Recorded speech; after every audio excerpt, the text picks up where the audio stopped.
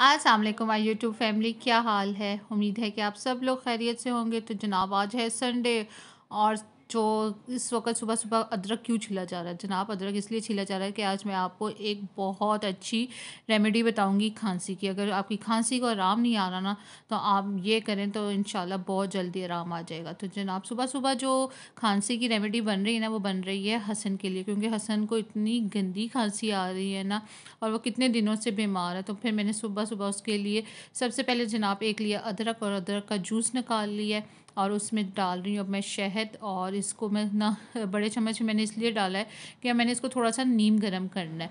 और इसमें थोड़ी सी जो पिसी हुई ना काली मिर्चें आपने डालनी है और इसको आपने नीम गर्म करके ना फिर पिलाना है, फिर इसका असर होगा। और जो खुश खांसी है ना, वो इससे जो है ना, तीन चार दफ़ा पिलाने से ना आराम आ जाएगा। तो मैंने ये बनाया हसन के लिए क्योंकि हसन जनाब काफ़ी दिन से बीमार है, उसको खांसी, आराम ही नहीं आ रही। तो मैं इसको दो तीन दिन से ये दे रही हूँ, इससे कुछ बेहतर है। ये देख रहे हैं आप हसन की शक्ल, सारी रात खांसी करता रहता है, बहुत बेचारा तकलीफ़ में है। इस वक्त हम करने लगे नाश्ता नाश्ता समझ लें, चाहे हमारे दोपहर का खाना समझ लें, क्योंकि टाइम हो रहा था बारह और मैंने मटन बनाया हुआ था तो उसी के साथ नान के साथ वो खा लिया और फिर उसके बाद चाय और चाय के बाद जनाब हम खाने लगे हैं। डोनट्स और इधर ज़मी को मैं अब क्या क्या कह रही हूँ? ज़मी बताओ ज़रा जल्दी से। मुट्ठी हो गई वो थोड़ा कम खाया करो। हाँ इस इधर मैं इसको बार बार ये कह रही हूँ मोटो बस कर दे। इसको पता नहीं क्यों इतने डोनट्स पसंद है? ये आराम से सुकून से डोनट खा रही है। और फिर उसके बाद मैंने जो सबसे पहले काम किया ना नाश्ता वगैरह चाय पीने के बाद तो मैंने कहा सबसे पहले मैं बच्चों को नला लूँ क्योंकि अगले दिन बच्चों को नहीं बच्चे को। हाँ चलो हस जमी है सॉरी हसन को और हसन को भी मैंने नहीं नलाया इसके पापा ने नलाया क्योंकि वो जो है ना हफ़्ते तो वाले दिन जो है ना हसन को नलाते हैं उसके पापा और इधर ज़मी ज़रा जेलसी फील कर रही थी कहती हाँ जी अपने लाडू को बड़े प्यार से कपड़े पहना रही हैं। तो मैंने फिर उससे कहा हाँ मेरा तो लाडू है। और फिर इधर जेलसी गर्ल ने कहा कि जी अपने बेटे के बाल बना रही थी तो मेरे भी बना तो मैं इधर ने कहा चला मेरी लाडो रानी मैं तेरे बाल भी बना दूँ। और फिर मैंने इसके बाद बच्चों को जनाब दी कावा क्योंकि खांसी बहुत इन्हें आ रही थी। तो मैंने कावा बनाया और फिर उसके साथ इसको उनमें शहद डाल के मैंने दे दिया। और ये मैंने हसन को? अच्छा हसन को ही आ रही थी ना? तो आप बच्चों को बच्चों को। अब बच्चों में कोई बात नहीं, अगर तुम भी आ जाती है तो कुछ नहीं होता। मैंने तुम्हें भी कहा था, कावा पी लो, तुमने नहीं पिया। लेकिन हसन को भी मैंने बड़ी मुश्किल से पिलाया, क्योंकि कावा पीते हुए इनको पता नहीं क्या मसला होता है। अभी तो अल्लाह का लाख लाख शुक्र अदा करती हूँ कि ऑटोमेटिक मशीन आ गई है, मेरी ज़िंदगी में सुकून आ गया है। वरना आप यकीन करें हर संडे पूरा दिन बर्त सॉरी बर्तन कह रही हूँ, कपड़े धोने में लग जाता था। और फिर जनाब, ये है बर्तन समेटना। ये मैंने इतना तंग आ गई हुई ना बर्तनों से कि हर वक्त जो है ना बर्तन समेटना। मुझे पता नहीं मुझे समझ नहीं आती कि सारी दुनिया में लोग इतने उनको खपत होता है हर चीज़ से समेट समूट के रखने का तरीके से रखने का क्योंकि शायद मुझे केली को इतना खपत है। और थक जाती हूँ और सारा गुस्सा उसके बाद उतरता है बच्चों पर। और आज तो संडे का दिन था इतना मैं थक गई ना इतना मैं थक गई ना आगे आप अपनी मैं डांट सुन चुकी हूँ ना मुझे पता कि आगे आप सारा देखेंगे।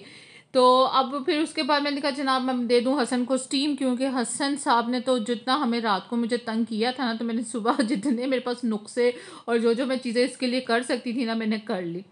और अभी आपके सामने आज कपड़े धुल रहे हैं और ये कल के जो धुले हुए कपड़े ना उनको तय लग रही है। मेरी तो, अम्मा रोज़ ही कपड़े धोती है। अब अभी रोज़ धोने के बावजूद समझ नहीं आती कहाँ से इतने कपड़े गंदे निकल आते हैं। सर्दी है ना सर्दियों में कपड़े होते ही बहुत ज़्यादा गंदे कि आप एक टाइम के भी कपड़े उतारो, अब हसन के ले लें तो उसके नीचे, इसके नीचे का स्वेटर, बनियान, इसकी हाई नेक हर चीज़ होती है टाइट्स वगैरह।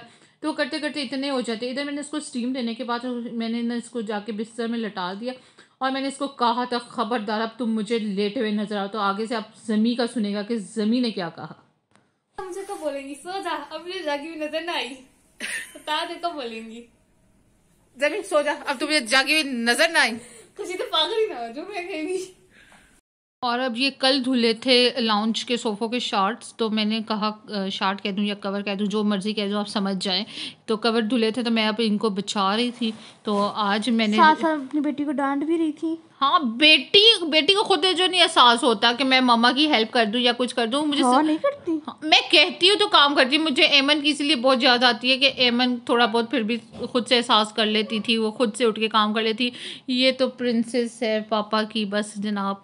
और आज थी घर की मैंने कहा डस्टिंग भी कर लूँ क्योंकि जब ठीक मैं ना डस्टिंग करूँ ना तो किसी को इस घर में डस्टिंग करना पता नहीं। याद नहीं आता कि डस्टिंग भी करनी होती है।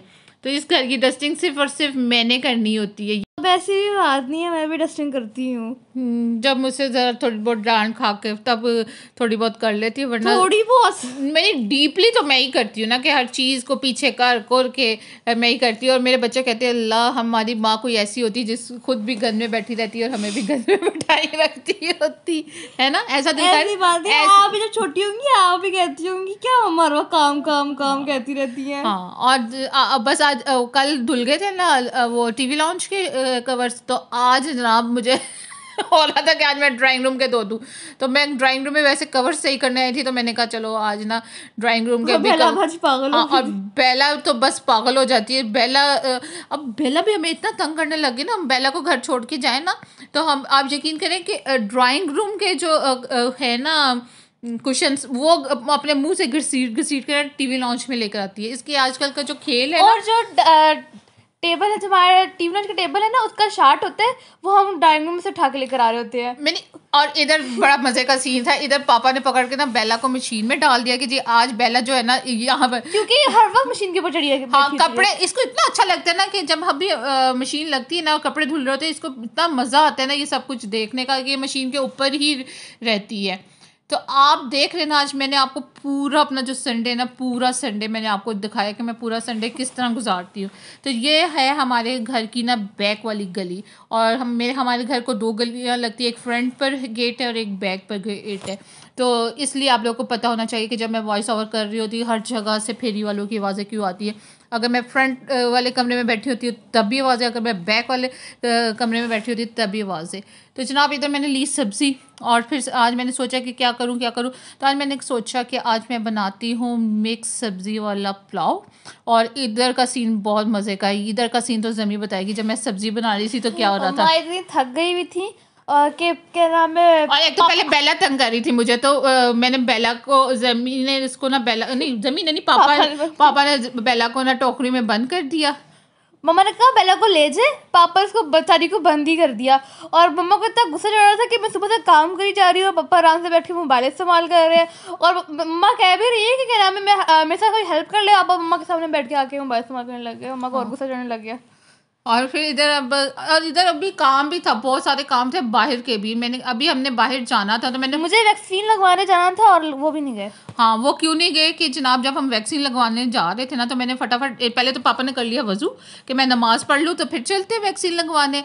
तो मैंने कहा चले उतनी देर ना मैं थोड़ी सब्ज़ियाँ रख देती हूँ पुलाव बनने के लिए ताकि जब हम लोग अगर आए भी ना तो मैं फटाफट चावल डाल दूँ और बस खाना खाएँगे। और मैंने ना पाँच छः बजे तक ना मैंने रेस्ट करना है। उसके बाद मैं इतना थक गई मुझसे कोई काम नहीं होगा।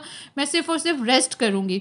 तो हुआ क्या? जनाब अभी मैंने रखे थोड़ा पुलाव बनने के लिए और अभी प्याज फ्राई हुआ है उसमें टमाटर लहसुन अदरक के नमाज़ पढ़ी। हाँ। और पापा को कॉल आ गई। कि पापा के फ्रेंड दरवाजे पर खड़े हुए थे और वो उन्होंने कहा कि जनाब हम आ गए हैं आपके घर, वो आए हुए थे इधर बाज़ार में अपने किसी काम से तो उनकी मिसिस ने नमाज़ पढ़नी थी तो उन्होंने कहा कि हम आपके दरवाजे पर खड़े हुए हैं।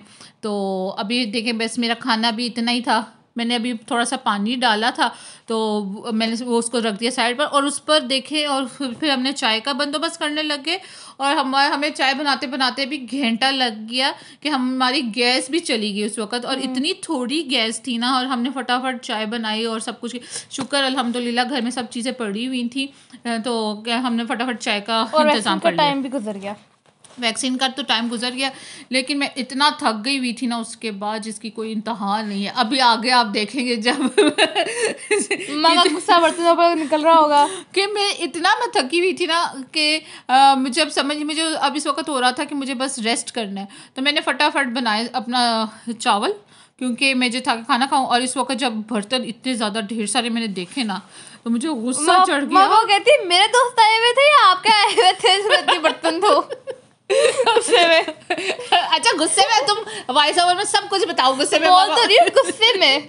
हाँ कि मामा ने डायलॉग मारा कि मेरे दोस्त आए हुए थे कि आपके दोस्त आए हुए थे कि मैं इतना ढेर सारा बर्तनों का धोऊं। तो फिर पुलाव के साथ मैंने बनाए थे आलू वाली कटलस कहते हैं या टिकिया कहते हैं जो भी कहते हैं। आप हम तो कटलस कहते हैं। लाहौर वाले टिकियाँ कहते हाँ, हैं लाहौर। पिंडी और इस्लामाबाद वाले इसको कटलस कहते हैं। इसके पीछे भी स्टोरी है, इसलिए हमें हँसी ज़्यादा आ रही है, वो हम आपको फिर कभी बताएँगे। और जनाब, ये देखें, मैंने इसको लगाया था तड़का ज़ीरे का और थोड़ा दड़ा मिर्च का। इससे इसका फ्लेवर इतना अच्छा हो जाता है ना, और जो कबाब होते हैं ना, वो इतने सॉफ्ट बनते हैं ना, बहुत टेस्टी बनते हैं। तो आज का मैंने अपना सारे दिन का काम आपके साथ शेयर किया है तो उम्मीद है कि आपको मेरी वीडियोस अच्छी लग रही होंगी। अगर मेरी वीडियोस अच्छी लग रही है तो मेरे चैनल को क्या कर ले जनाब? लाइक सब्सक्राइब कर ले लाइक कर ले और शेयर कर ले और हमें हमेशा याद रखे और इस वक्त मैं खाना खा रही हूँ और खाना खा के मैंने इधर ही बिस्तर पर डम डाउल हो जाना, सो जाना।